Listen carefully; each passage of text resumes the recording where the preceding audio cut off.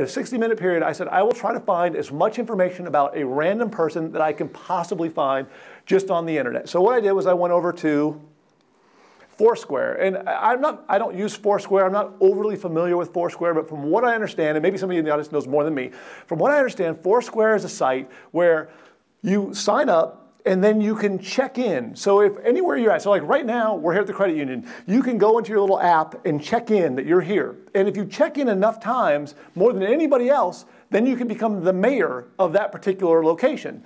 And I guess like if you're at a bar or a restaurant and you become the mayor, then maybe you get like coupons or something to go there more. So I guess if like you're an alcoholic and you go to a bar a ton, then you're going to get to drink a lot more for free. I, I, don't know exactly how it all works, but people check in a lot. And if you ever notice, if you have Facebook or Twitter, a lot of times you'll see people check in. You'll see these things like so and so is checked in at like Jack in the Box, and you're like, why? Why are they doing this? Why are they telling me they're at Jack in the Box? I don't care. But you see these check-ins all the time. Well, that's what this is. is this is this Foursquare thing.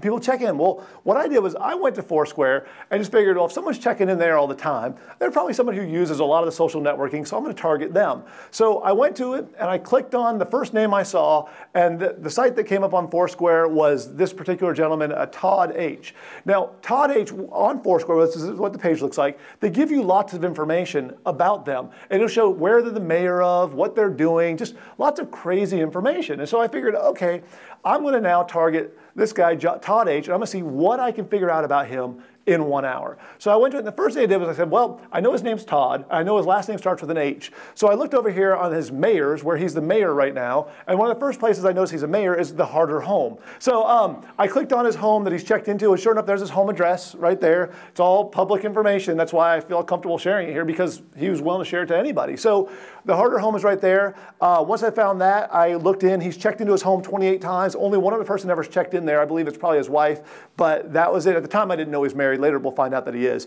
Um, there's a picture of his home because Google will give you anything. So what I cared about on finding his home was I wanted to know, okay, if I'm going to target this house from, from a robbery standpoint, I wanted to make sure it's an open street. I didn't want to be on the end of a cul-de-sac, anything that'd be difficult. I wanted this to be really simple to target. I also wanted a lot of space between the other homes because if I'm walking up, I don't want neighbors right on top of me. His home was perfect, absolutely perfect. So now I have his first name, last name, street address, and picture of his home. Next did is I came back over here and I wanted to see where else has he been checking in, what else has he been doing, because I want to know where he goes, where he lives, where he shops, anything I can find.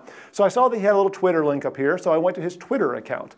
And on his Twitter account, there's a whole bunch of stuff. And the first thing I noticed is that he had a check-in there where he was dropping Jeannie off at Hannah's daycare. And I went, okay, Hannah's daycare, he must have obviously a daughter, and she must go to the daycare. And he, it's another one of these places he's checking in. So I went over here, and sure enough, he is the mayor of Hannah's Daycare. So I went, wow, okay. And at first I thought, well, maybe he works there as well, but he, he doesn't. But so I went over and looked. And here's Hannah's daycare. There's a picture of it right there. It's apparently somebody's home.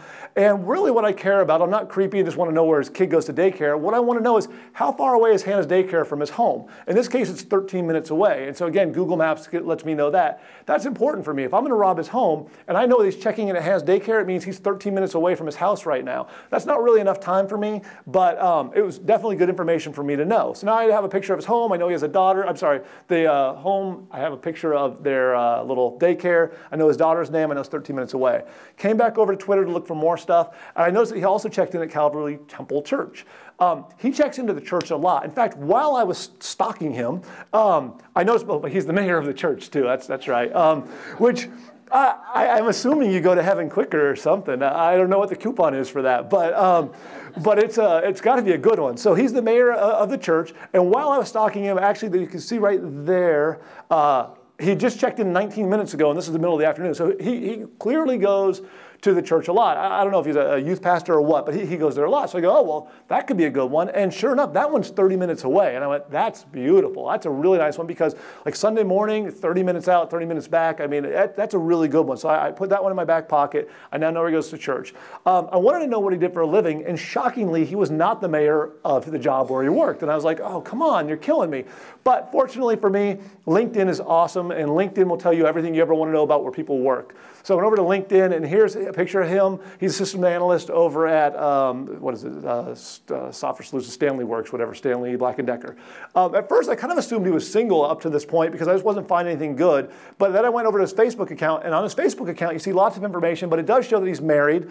Um, he's, uh, his anniversary is August 6, 1994, so I know he was married. So that's just a little bit of useful information. I might be able to use it. So here's her Facebook account, and unlike his, she's actually done proper. She's locked her Facebook account down. If you have a Facebook account, you should set the little security settings that say, do not share any information unless it's somebody I'm actually a friend with. Because I can't see anything about her. All I know is that she has some friends on the left-hand side, and that is it. So his wife is much more secure than he is, and she's doing things properly. And the last thing that he had was on uh, Picasa. And anybody that uses Picasa, you can share your pictures and stuff. His Picasa account's wide open, which means you can see every picture that he's ever posted. For me, at first when I was going through, I was like, well, you know, it's just pictures, who cares? But I was able to find out so much information just from pictures. Uh, I was able to discover that they adopted their daughter. Jeannie was adopted from China. In fact, you can see pictures. That's where she was picked up her first day um, in China. That's when the family was there. So now I have some really interesting information about that. So in less than 60 minutes, I have just about everything I could ever want to know about Todd. I mean, I know his whole life history right now in just 60 minutes of all this information out there.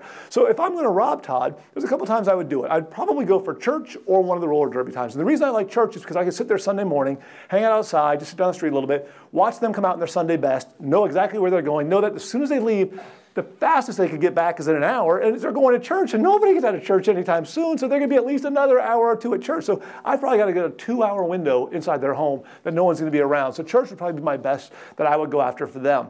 Um, and it's all because he just he just posted everything and made it public. Now, if you want, um, you can go on Google and watch lots of different videos of, of things that I've ripped people off and stuff. But um, you can also watch the uh, the interview with him where he's not too pleased when he found out about all this stuff. And it's, it's kind of it's kind of interesting because at first he goes, I don't think it's any big deal. And then the more we went through it, he finally went, yeah, yeah, this is a lot. And one point that he makes that I think is probably the best point of the entire thing is that he goes, look, you know, you found a lot of information, and when you put it all together, yeah, it looks really bad, but you gotta remember, I didn't post that all one day. You kind of forget. You post a little thing here, you post something out here. You forget as you're putting all this stuff up that if somebody takes it all and scoops it together, you can build the whole puzzle from all these random little pieces. And that was such a good point because it's true, and that's what you gotta kind of remember whenever you're using any of these uh, network services out there.